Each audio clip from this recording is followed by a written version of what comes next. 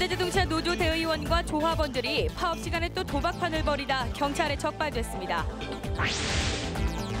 한반도에서 해가 가장 먼저 뜨는 울주군 간절곶 일대가 무허가 카페들로 몸살을 앓고 있습니다. 최근 인터넷에 운전이 서툰 여성 운전자들의 동영상이 화제가 되고 있지만 사고율은 남성 운전자가 더 높은 것으로 나타났습니다. 울산 지역 초등학교 119곳 가운데 18%인 21곳의 학급당 학생 수가 20명 이하인 소규모 학교로 나타났습니다. 여러분 안녕하십니까? 7월 23일 월요일 UBC 굿모닝 울산입니다. 울산지방은 오늘 고기압 가장자리에 들면서 폭염이 기승을 부리겠습니다. 아침 최저 22.5도, 낮 최고 기온은 33도로 예상되며 오전 11시를 기해 폭염주의보가 발효될 예정입니다. 내륙 지역을 중심으로 소나기가 내리는 곳이 있겠습니다. 내일도 맑은 가운데 아침 최저 기온은 24도, 낮 최고 기온은 33도까지 올라 찜통 더위가 이어지겠습니다. 한반도에서 가장 먼저 해가 뜨는 울주군 간절곶 일대에 무허가 카페촌이 들어서 불법 영업을 하고 있습니다. 안전은 뒤로 한 채 경치 좋은 곳만 찾다 보니 사고 위험도 있어 보입니다. 이다루 기자가 취재했습니다. 해맞이 명소로 전국적인 명성을 얻고 있는 간절곶. 근린공원 구역인 이곳에 무허가 커피숍이 잇따라 들어서 불법 영업을 하고 있습니다. 하나 둘씩 생겨난 무허가 카페는 무려 30여 곳에 이릅니다. 이 원래 문제는 2000년도 미래적 해넘이 때 그때부터 시작된 거 이게 제가 보니까는 그때 뭐 세계적으로 행사 그렇지 않습니까? 그러다 보니 이제 이게 이제 어, 그 당시부터 돼가지고 이 충격이 흘러오는 것 같더라고. 해안가 언덕 위에 지어진 카페를 지탱하는 것은 파이프 몇 개가 고작이어서 불안한 상태입니다. 카페로 사용하던 컨테이너가 곳곳에 방치돼 있기도 하고 주변은 장맛비로 토사가 유출돼 붕괴 우려를 안고 있습니다. 현재 이곳에 형성된 카페촌은 도로를 하나 사이에 두고 해안에 바로 인접해 있어 너울성 파도가 덮칠 경우 대형 사고를 발생시킬 우려마저 낳고 있습니다. 울주군이 210억 원을 들여 조성한 아름다운 해안선 3.6km도 업소용 데크와 노점상들로 몸살을 앓고 있습니다. 울주군도 답답한 노릇입니다. 지금 개인 사유다 보니까 어, 저희가 또뭐그 강제처벌 할 거면 행인 대행 출사에서 해야 된다 아닙니까? 뭐 그래야 더 시간 보이고 하니까 또 하고 나면 또 생기고요. 천혜의 해맞이 명소를 제대로 가꾸기 위해서는 행정당국의 적극적인 단속 의지가 필요하다는 지적입니다. UBC 뉴스 이다루입니다. 현대자동차 노조가 부분 파업에 들어간 지난 20일 노조원들이 도박을 하다 적발된 사실이 뒤늦게 드러났습니다. 파업 중에 도박을 한다는 것도 이해하기 힘들지만 이번이 처음이 아니어서 적지 않은 파장이 예상됩니다.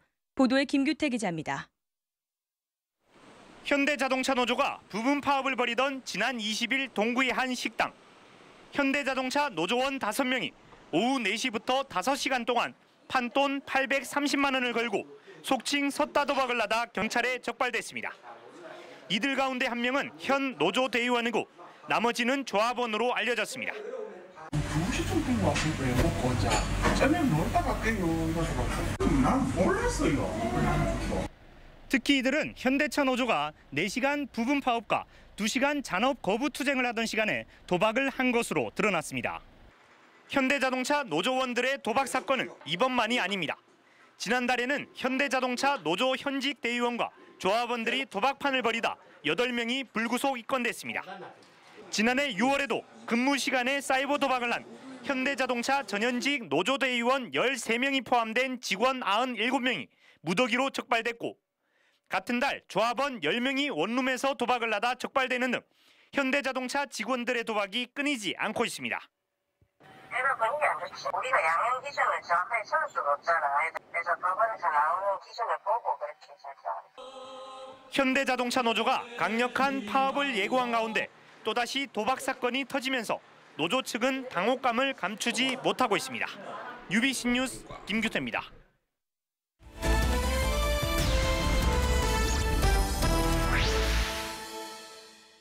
최근 인터넷에 운전이 서툰 여성 운전자, 이른바 김여사 동영상이 화제가 되고 있는데요. 실제로는 여성이 남성보다 더 안전하게 운전한다고 합니다. 윤경재 기자가 취재했습니다. 휴대전화 매장 유리문을 박살내고 매장 안으로 돌진하는 돌진 김여사.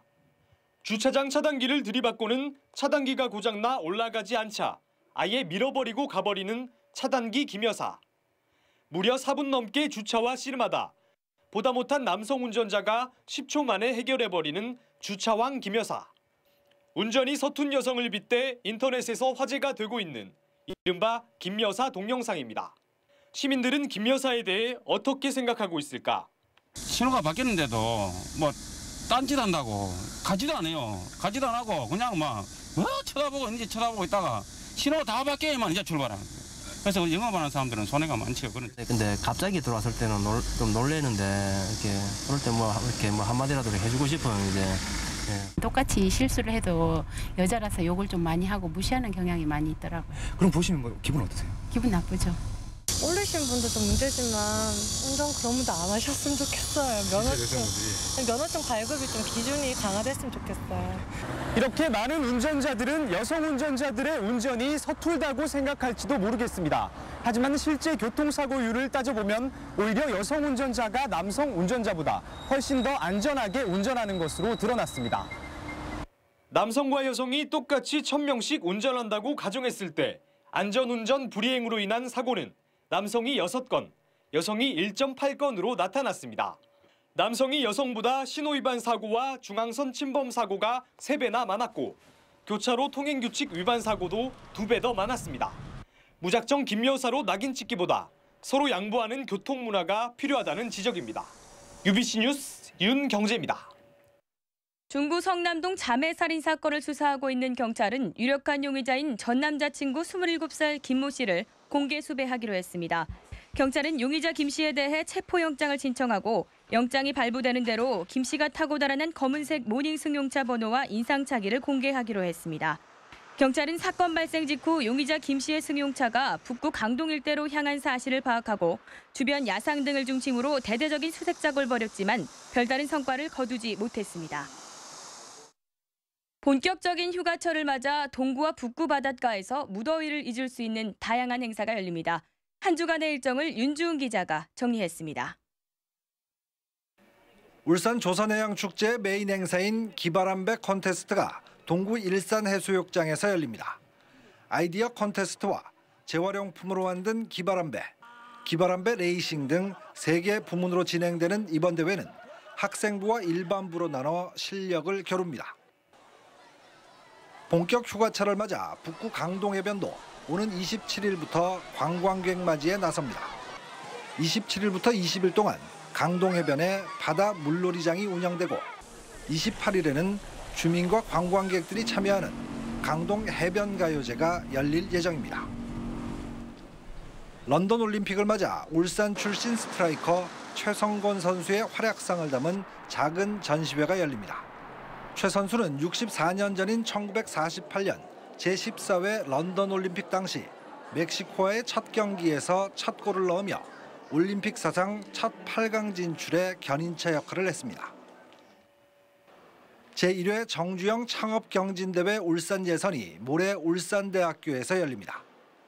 이번 대회 입상자는 아산나눔재단이 지난 3월 조성한 천억 원 규모의 정주영 엔젤 투자기금의 우선 투자 검토 대상자로 선정되고 최종 선발되면 투자와 창업 멘토링은 물론 해외 진출까지 지원받을 수 있습니다.